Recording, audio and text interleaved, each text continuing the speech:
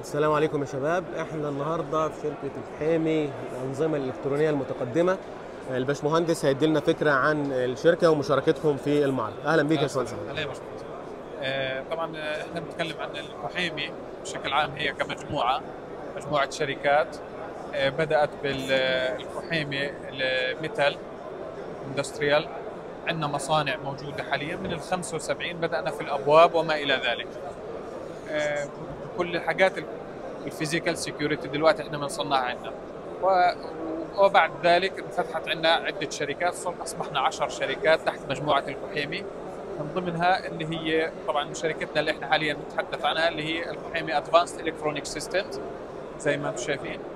آه، بالنسبة للكحيمي advanced electronic system هي specialist لكل أنظمة ال low current وال security systems HCIS certified بنشتغل آه، بكل ال levels بتاعت ال security من class 1 ل class 5 على approved everywhere أرامكو هيئة ملكية سابق آه، وبالنسبة لل government لنا باع مع وزارة الخارجية وزارة الداخلية. اشتغلنا في أكثر من 25 دولة. آه، طبعا إحنا في عندنا عدة أنظمة و suppliers عاملين معهم dealership بالنسبة ل brand ات كثير. نبدأ بالنسبة لل access control مثلا. عندنا اللينيل حاليا إحنا بنشتغل فيه في مشاريع SCECO والمشاريع الكبيرة بشكل عام كلها. آه، في عندنا كمان آه، طبعا بالنسبة لل fire alarm عندنا إدواردز. أوكي. آه، لو تلاحظ إحنا عندنا يعني dealership معهم. وتقريبا يعني اشتغلنا مشاريع ضخمة معهم فيها مع ادوارد إيه. طبعا علما بأنه إحنا ال brand ات دي مش على سبيل الحصر لأنه إحنا كل brand مثلا ال access control عندنا ثلاثة أربعة brands. أوكي. بس يعني الرئيسي اللي فيه dealership معاه وإحنا كموزع رسمي فيه مثلا زي لينيل عندنا في عندنا مثلا هنا عندنا Axis برضه بالنسبة للكاميرات عندنا Milestone بالنسبة لل softwares وال license اللي بتعرفوها ادواردز آه لل fire alarm آه بنشتغل فيه. وفي عندنا هنا آه الكاميرات طبعا عندنا أنواع كثير ومن ضمنها اللي عندنا FLIR بيشتغلوا بالنسبة لل آه، audio video والهاي. في عندنا هون المهندس آه، مهندس ياسر. ممكن مهندس نبذة. آه، أعطيه ال mic. okay.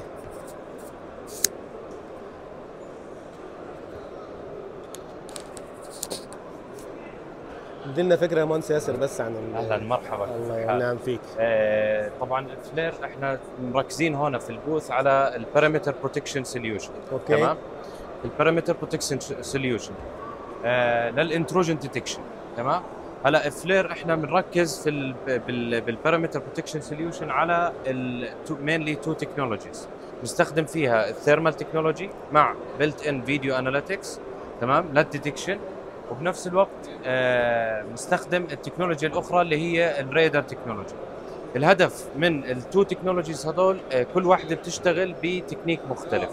الكاميرا الحرارية آه بنستخدمها على ال fence. إذا عندك أي منشأة ال perimeter تبعها بنركب كاميرات ثابتة على ال fence حوالين ال fence تبعت المنشأة وبالتالي بيكون عليها video analytics AI analytics لل intrusion detection وأي target يقرب على هذا ال- ال- ال fence أو هذه المنشأة يكشفه من خلال ال video analytics وبالتالي بي بي بيعطي معلومات ال data هاي ال target عن طريق ال software تبعنا ال C2 software بيعطي المعلومات لل PTZ camera بحيث إنه ال PTZ camera تعمل zoom in على هذا ال target وتبدأ آه، عملية التتبع لهذا ال target okay. ال- ال- ال technology الثانية اللي هي استخدام ال radars ال radar technology هي mainly تستخدم لل early warning detection ال early warning detection يعني إذا أنا حاب أكشف أي هدف قادم للمنشأة قبل لا يصل المنشأة نفسها.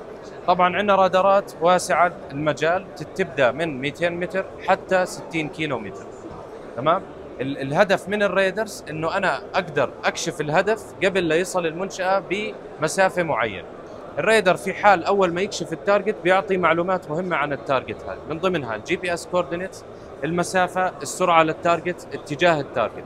هذه المعلومات بيرسلها لل software لل C2 software تبعنا وال C2 software تبعنا بيعطي هذه بترجم هذه المعلومات لكاميرا متحركة بحيث إنه تتوجه على الهدف وتصير تعمل عمليه التتبع لهذا ال target طول ما هو في منطقة آه، الرادار.